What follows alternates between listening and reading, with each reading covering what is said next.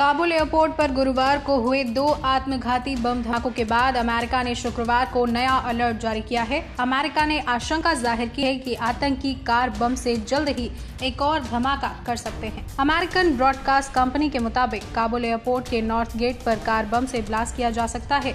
खुफिया एजेंसियों से मिली जानकारी के बाद अमेरिका ने काबुल में अपने सैनिकों व नागरिकों को अलर्ट कर दिया है। वहीं गुरुवार को अफ़गानिस्तान का काबुल दो बम धमाकों से दहल गया था। काबुल एयरपोर्ट के बाहर दो आत्मघाती हमले में बहत्तर लोगों की मौत हो गई थी, जबकि 143 लोग घायल हुए। पेंटागन के सुरक्षा अधिकारी के मुताबिक, इस आतंकी हमले में 13 अमेरिकी सैनिकों की जान गई है और 18 घायल हुए हैं। काबुल धमाके पर अमेरिकी राष्ट्रपति जो बाइडेन ने कहा कि जिसने भी इसे अंजाम दिया है, उसे हम माफ़ नहीं करेंगे, ना ही उसे भूलेंगे। शुरुआत से ही इन बम धमाकों के पीछे आतंकी संगठन आईएएस इस्लामिक स्टेट का हाथ होने की बात सामने आ रही थी और देर रात उसने इसकी ज़िम्मेदारी भी ले ली थी। वहीं काबुल में हुए बम धमाकों में 12 अमेरिकी सैनिकों की मौत हो गई है। वहीं 18 से अधिक घायल हैं, जिसके चलते इन शहीदों के सम्मान में 30 अगस्त की शाम तक अमेरिकी झंडा झुका रहेगा।